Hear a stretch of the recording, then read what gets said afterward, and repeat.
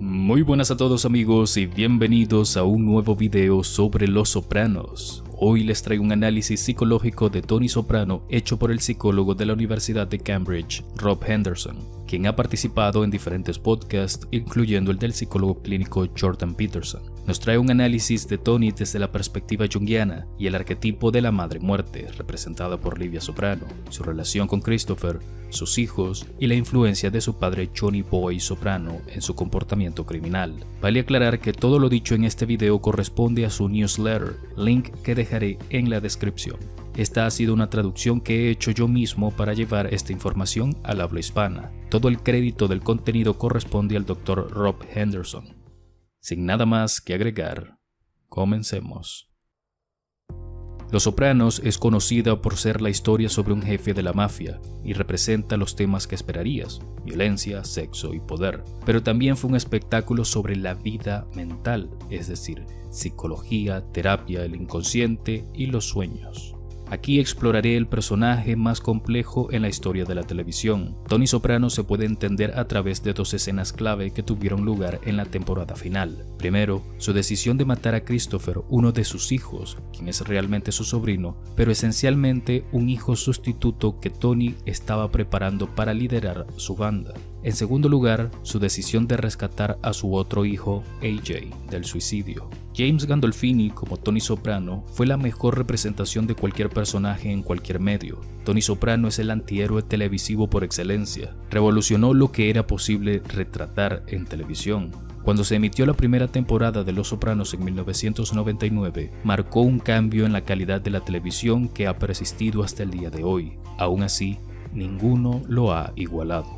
La razón por la que Los Sopranos sobresale del resto es la complejidad de su personaje principal que el showrunner David Chase exhibió. En una entrevista de 2022 con Jordan Peterson, el ex capo de la familia Colombo, Michael Francese, declaró, pongámoslos de esta manera, si mi padre nunca me hubiese presentado esa vida, nunca habría tomado el camino criminal. Francese continúa, a pesar de cumplir con el código de la mafia, a menudo su conciencia lo perseguía cuando llevaba a cabo sus actividades criminales. Se preguntaba a sí mismo quién era el verdadero él, la parte de sí mismo que realizaba los actos delictivos o la parte de sí mismo que se sentía incómoda haciéndolo. Los Sopranos insinúa en gran medida que la razón por la que Tony tiene sus ataques de pánico se debe a su conciencia atribulada. Una razón clave por la que dejó de tener ataques de pánico fue que usó sus sesiones con la doctora Melfi como una vía para aliviar el estrés y la culpa que experimentaba por sus acciones violentas. El show hace todo lo posible para demostrar que el estilo de vida y la disposición de Tony se deben en gran parte a su educación y la cultura a la que estuvo expuesto. Incluso nos da la impresión de que Tony detesta en lo que se convertido. Las actividades delictivas de Tony están fuertemente implicadas como la causa de sus síntomas, pero por razones legales nunca podrá discutirlas con la doctora Melfi. En el mejor de los casos puede pasar de puntillas por sus acciones o hablar con eufemismos. En sus lecturas introductorias al psicoanálisis, Sigmund Freud discutió este mismo tema. Difícilmente se encuentra un solo paciente que no intente reservarse una u otra cosa para impedir que el tratamiento tenga acceso a ella. En el caso de Tony, se podría decir que lo que le causa tanto dolor es lo único que no puede discutir con la doctora Melfi. En otro ejemplo, Freud escribió, una vez decidí conceder a un hombre el derecho de hacer una excepción de este tipo porque estaba obligado bajo juramento a no hacer comunicaciones sobre ciertas cosas a otra persona. Él, es cierto, quedó satisfecho con el resultado, pero yo no lo estaba. Decidí no repetir un intento bajo tales condiciones. Esto es más o menos la situación entre Tony y la doctora Melfi. Gradualmente, Tony llega a disfrutar tanto de sus sesiones que las describe como un oasis en la semana. En contraste, la doctora Melfi sospecha cada vez más que Tony está usando la terapia para tranquilizar su conciencia, para controlar sus síntomas, en lugar de examinar su causa subyacente. Finalmente, en el penúltimo episodio de la serie, termina la terapia con Tony. Por ahora, volvamos a las escenas anteriores del programa, cuando Tony todavía se sentía incómodo con sus acciones. Consideren esta escena en la que está a punto de aterrorizar a su antiguo compañero de clase Davey Scatino por las deudas que tiene. Inmediatamente antes de que Tony abra la puerta de la oficina de Davey, suspira audiblemente. Él no quiere hacer esto, pero es un acto para el que ha sido entrenado como líder de una organización criminal. Tony ha aprendido que si no actúa de manera amenazante, es posible que se aprovechen de él más tarde. Los ataques de pánico, la depresión y los deslices verbales de Tony indican un anhelo por la vida más sencilla. En una sesión reflexiona. Sí, a veces pienso en cómo habría sido la vida si mi padre no se hubiera metido en las cosas en las que él se metió. ¿Cómo habría sido diferente la vida? Tal vez estaría vendiendo muebles de jardín en San Diego o lo que sea. A pesar de la gran cantidad de dramas de antihéroes que se han creado desde finales de los 90, todavía no tenemos un programa que retrate a un protagonista que comete actos verdaderamente repugnantes al mismo nivel que Tony Soprano. En la temporada 6 de Mad Men, después de que Don manipula a Peggy y a Ted Shaw en una reunión con un cliente, Peggy claramente horrorizada le dice a Don, eres un monstruo. En la última temporada de Breaking Bad, Jesse, preso del pánico, describe a Walter como el diablo. Nadie llama a Tony monstruo o diablo, no tienen que hacerlo. Sin importar cuán comprensivo sea el espectador con Tony, Los Sopranos fue el único drama de antihéroes que repetida y firmemente lo mostró comportándose de maneras que no puede simpatizar o empatizar. Hay una escena clave que consolidó a Tony como único entre los antihéroes. Tony insta a su hermana Janice a ingresar a clases de manejo de la ira y las clases realmente ayudan a Janice. Ella y su esposo Bobby invitan a Tony a cenar. Tony observa el progreso que ha hecho ella. A lo largo de sus sesiones de terapia con la doctora Melfi, Tony afirma repetidamente que su depresión, sus ataques de pánico y su temperamento se deben a que se crió en un hogar disfuncional. Realmente no cree que pueda mejorar y se resiente por no hacerlo. Así que ver a Janice, que creció en las mismas circunstancias, volverse más jovial, irrita a Tony. No puede soportar la idea de que su hermana escape del infierno que sus padres crearon para ellos, así que la arrastra hacia abajo. Tony usa sus experiencias para excusar su comportamiento, y la superación personal de Janice invalida esas racionalizaciones. Entonces, decide antagonizarla estratégicamente. Tony encuentra formas de sacar a relucir el hecho de que abandonó a su hijo Harpo, hasta que Janice finalmente explota de angustia e ira. Tony se aleja, satisfecho de haber impedido el progreso personal de su hermana, la sonrisa en su rostro se asemeja a la sonrisa que tenía su madre Livia cuando lo vio tropezar en las escaleras. En una serie donde vemos al protagonista engañar, robar y asesinar, esta escena entre Janice y Tony es un momento inigualable. Muchas de las transgresiones de Tony se pueden excusar como parte del código de la mafia o por el impulsivo y a veces incontrolable. Pero en este caso, Tony inflige dolor emocional a alguien a quien ama para disipar sus propios sentimientos de insuficiencia y odio a sí mismo.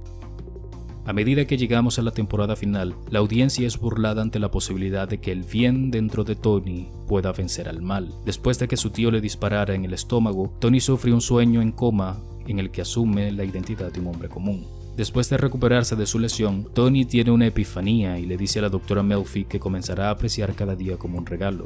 Avanza como se muestra en dos situaciones diferentes. Primero, en su decisión de no engañar más a Carmela, y segundo, sus intentos de negociar una resolución pacífica con otros mafiosos después de que se descubre que uno de sus capos, Vito Spatafori, es gay. Tony quiere cambiar, pero su estilo de vida no se lo permite. Poco después de su decisión de tratar cada día como un regalo, comienza a temer que sus subordinados lo vean débil. Tony restablece su dominio golpeando brutalmente al musculoso Perry Annunziata, sin provocación, a la vista de su grupo. El espectador tiene la sensación de que Tony quiere cambiar, pero está rodeado por lo que él llama chacales, que constantemente lo prueban en busca de debilidad. Así, Tony sabe que si cambia demasiado, si deja de ser un criminal, será aplastado. ¿Cómo se convirtió Tony en quien es? En cualquier buena historia literaria, nada está ahí por accidente. Cada detalle significa algo. En una sesión con la doctora Melfi, Tony sugiere que su comportamiento criminal es totalmente genético, citando la criminalidad de su padre. La doctora Melfi responde que las propensiones genéticas no son el destino. En un episodio posterior, Tony tratando de resistirse a asumir la responsabilidad por el comportamiento de su hijo, dice, lleva en la sangre esta jodida y miserable existencia. Mis genes podridos y putrefactos han infectado el alma de mi hijo. La doctora Melfi explica que cuando culpas a tus genes, en realidad te estás culpando a ti mismo, y de eso deberíamos estar hablando. Una pregunta persistente ha permanecido en mi mente. ¿Por qué la doctora Melfi refirió a Carmela para que viera al doctor Krakauer? El Dr. Krakauer fue el mentor de la Dra. Melfi, y él es absolutamente inflexible en su discusión con Carmela de que ella debería llevarse a los niños o lo que quede de ellos y dejar a Tony. Seguramente la Dra. Melfi debe haber sabido cómo reaccionaría su mentor ante la descripción de Carmela de su matrimonio con Tony.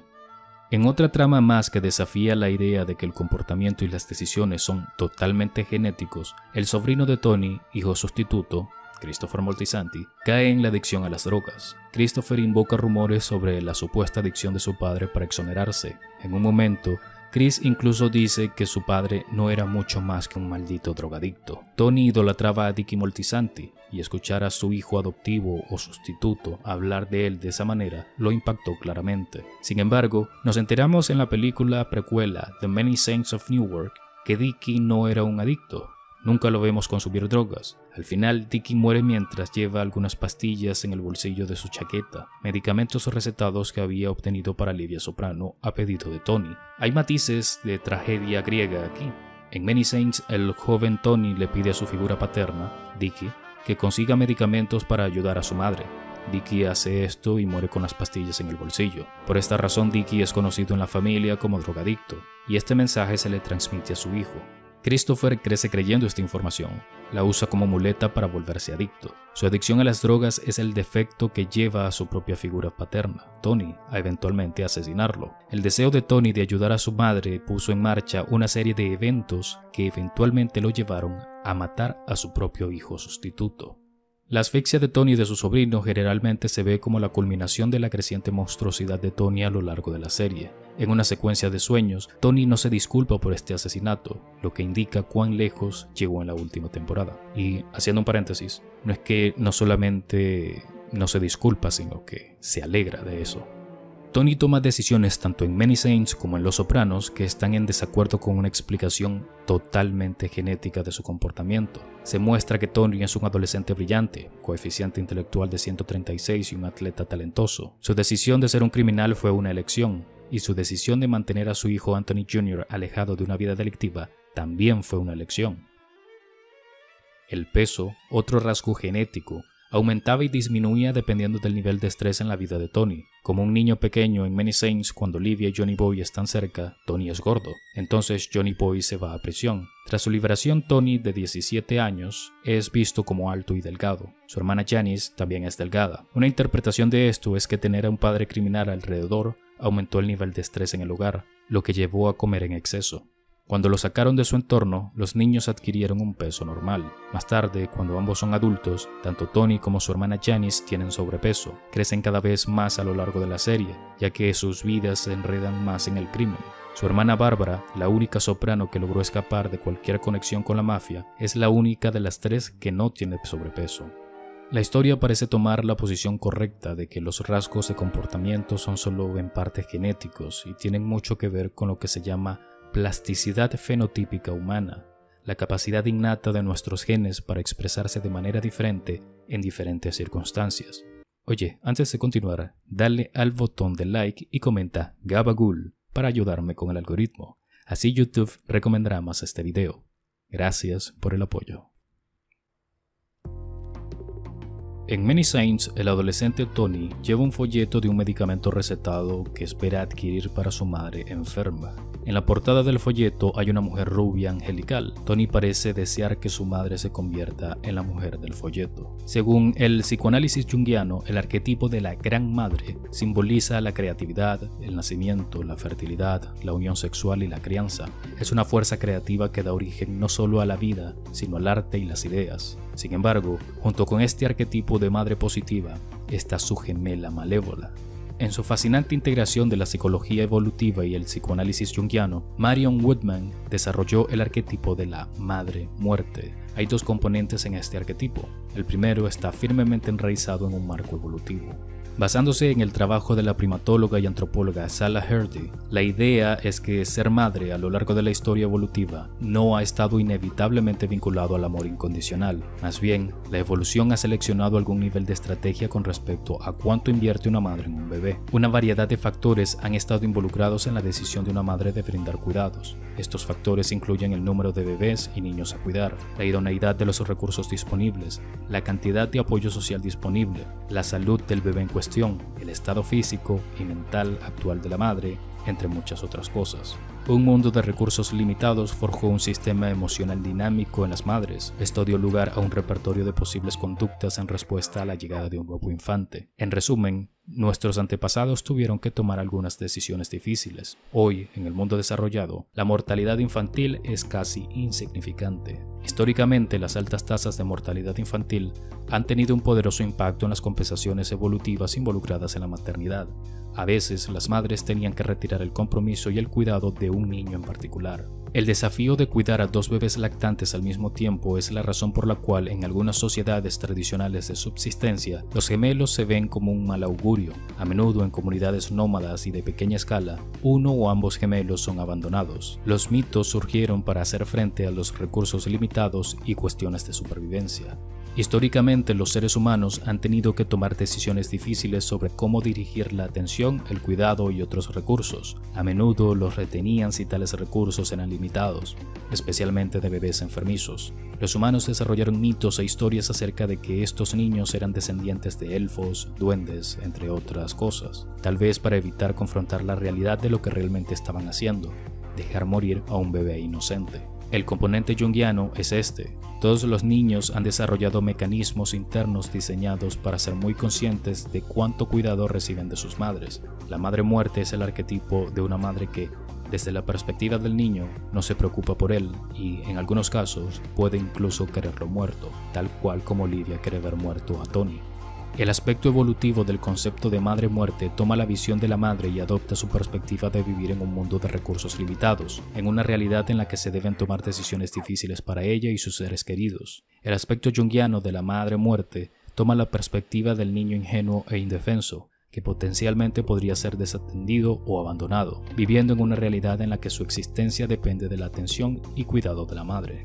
Esto es de un artículo de 2019. El arquetipo de la madre muerte simboliza a una mujer cuyos sentimientos o comportamientos amenaza la vida de su hijo. Es una imagen alarmante. De hecho, estamos tan perturbados por la idea de que una madre pueda ser una amenaza para su hijo que la cultura occidental ha exiliado a la madre muerte a las sombras de la conciencia. Asimismo, la analista junguiana Marion Woodman afirmó, la energía de la madre muerte es más destructiva cuando proviene de alguien a quien amamos y en quien confiamos, y que se supone que debe amarnos. Esto es lo que sucedió en el trauma original.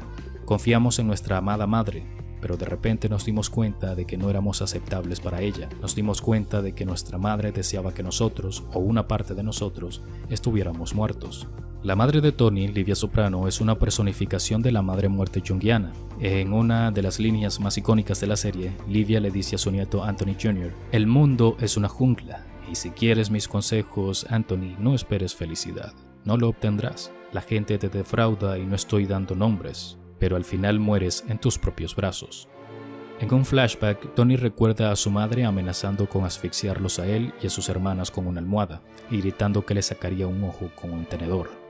Woodman expresa, peor que no ser visto es crecer con un padre que desea que nosotros o una parte de nosotros no existiéramos. Es una energía adormecedora que impregna tanto la psique como el cuerpo. Nuestra vitalidad se agota y nos encontramos anhelando el olvido de la muerte. La energía de la madre muerte arquetípica se personifica en la mirada de Medusa. Penetra tanto en la psique como en el cuerpo, convirtiéndonos en piedra. Mata la esperanza. Alguien puede decir algo que parece ser inocuo, pero si la energía de la madre muerte subyace a ese comentario, entonces nuestro cuerpo físico cambia, nos derrumbamos, en una sesión de terapia, la doctora Melfi rastreó los orígenes de los ataques de pánico de Tony hasta un recuerdo latente. Cuando era niño, Tony vio en secreto cómo su padre le cortaba el dedo a un hombre por no pagar sus deudas de juego. Más tarde, el joven Tony es testigo de cómo su padre seduce a su madre con las ganancias que obtuvo de ese evento violento. Tony aprendió que para ser digno del amor de su madre, o quizás del amor de cualquier mujer, tendría que convertirse en un hombre como su padre. Tony tiene su primer ataque de pánico y se derrumba frente a sus padres. Marion Woodman dice, A muchas personas que han crecido sintiéndose simplemente no amadas, les resulta difícil comprender sus propios sentimientos y comportamiento. Esto les deja pocas opciones más que deducir erróneamente que su sufrimiento tiene sus raíces en algún tipo de inadecuación intrínseca propia. Una vez que se forma tal convicción, se afianza la vergüenza, por lo que estos individuos tienden a ser aprisionados por la creencia de que son víctimas de su propia supuesta insuficiencia. En la temporada 2, Tony le dice a la doctora Melfi, I got the will by the balls and I can't stop feeling like I'm a fucking loser. En 2009, un usuario de un foro llamado Fly on Melfi's Wall propuso uno de los análisis más interesantes y completos de la psique de Tony Soprano. Se centra en el papel que tuvo su padre Johnny Boy en la vida de Tony y cómo Johnny ocupa un lugar más importante en el inconsciente que Livia, a lo largo de Los Sopranos, Tony actúa como un apologista de su padre, porque de lo contrario tendría que reconocer que él mismo tomó la decisión equivocada en su vida. Para hacer frente a su propia elección de convertirse en gángster, Tony tuvo que tener una visión positiva de su padre como gángster. Sin embargo, es revelador que se esfuerza mucho por no dar el mismo ejemplo a sus propios hijos. En una de las escenas más emocionalmente intensas del programa, Tony le dice a Anthony, que había intentado acabar con Junior, no está en tu naturaleza, eres un buen tipo. También le dice a su hijo que está mal cometer un asesinato. Tony reconoce implícitamente que es un hombre malvado y le dice a su hijo que está agradecido de que sea bueno. Tony intenta creer que su padre, el hombre que llevó a su propio hijo una vida delictiva, el hombre que arregló que su propio hijo cometiera su primer asesinato a la edad de 22 años, fue un gran padre. Sin embargo, el propio Tony hace todo lo que puede para asegurarse de que su hijo AJ no siga el mismo camino. Esta es una indicación de que Tony experimenta un profundo conflicto psíquico a lo largo de la serie.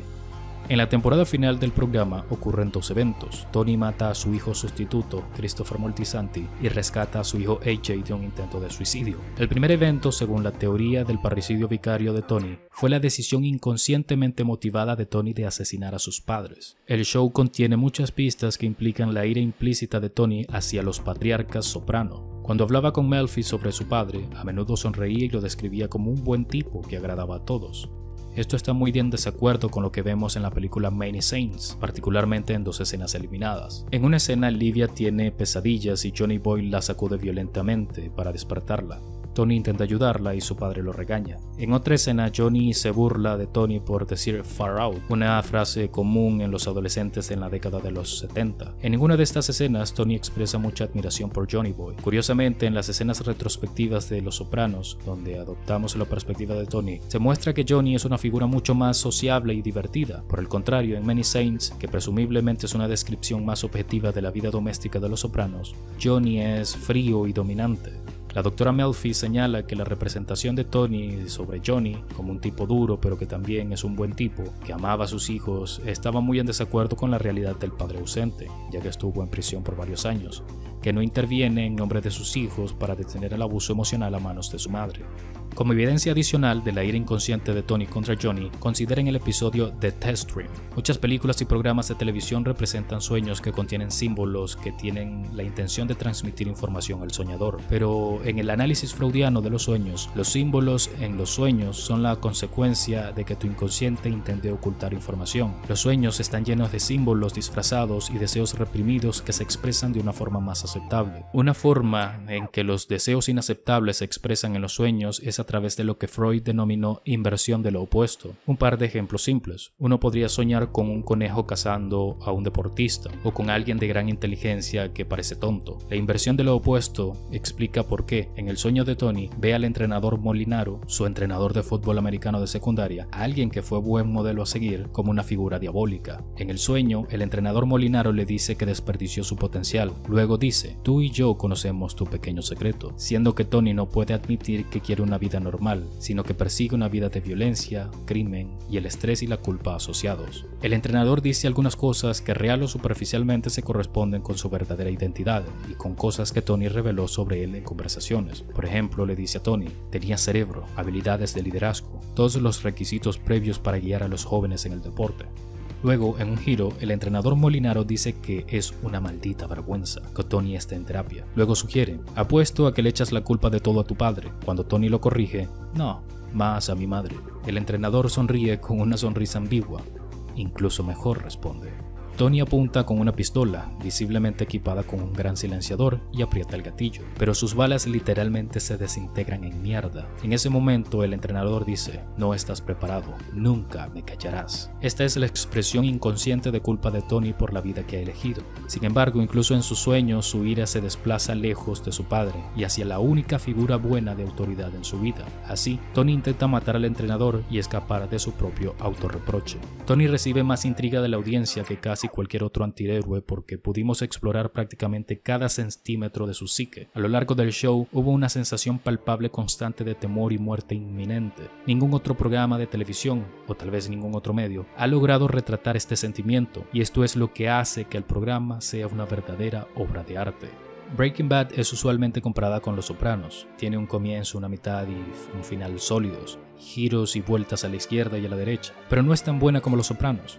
Si has visto Breaking Bad una vez, ya conoces la trama, Volver a ver Breaking Bad nunca será como la primera vez. Esto no sucede con Los Sopranos. Debido a la forma en la que está estructurado el show y los personajes, puedes verlo cinco veces y siempre encontrarás algo nuevo. Captarás nuevos detalles y encontrarás las conclusiones que se formaron a partir de visionados anteriores. El showrunner David Chase no ocultó ninguno de los defectos de Tony ni siquiera en el principio. En uno de los mejores episodios de la primera temporada, College, Tony pone en peligro a su hija Meadow varias veces, rompe la confianza de su hija y le miente en la cara sobre lo que hizo. Tony es tan bueno mintiendo que parece natural. Está moralmente comprometido desde el principio. Sin embargo, no nos repugna ni nos hace evitarlo. Lo más feliz que vemos a Tony es cuando decide hacer lo correcto. Él y su banda se enteran que el entrenador de fútbol de Meadow se ha estado acostando con una de las jugadoras, pero en lugar de asesinar al entrenador, lo denuncian y hacen que la policía lo arreste.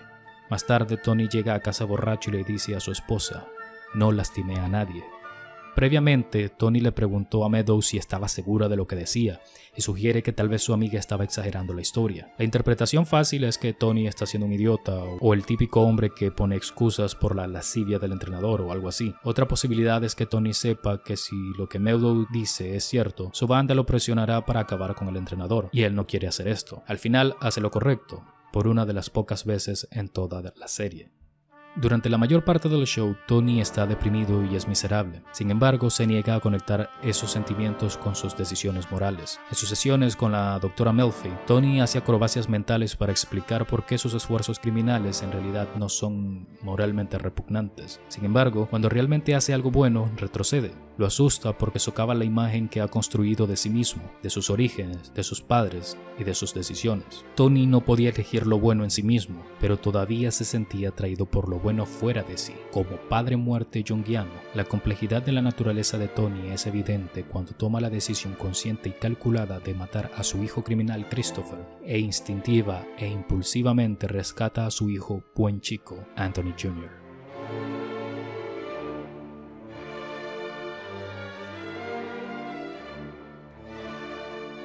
Y hasta aquí llegó este grandioso análisis del Dr. Rob Henderson. Omití algunas partes de su artículo original para que vayan a leerlo completo si están interesados. El link está en la descripción. Recuerda que si te gustó este video, dale like, comenta tu opinión al respecto y comparte el video porque eso me ayuda a crecer. Para formar parte de esta Ludos tan solo tienes que suscribirte y activar la campanita. Muchas gracias por escucharme y hasta pronto.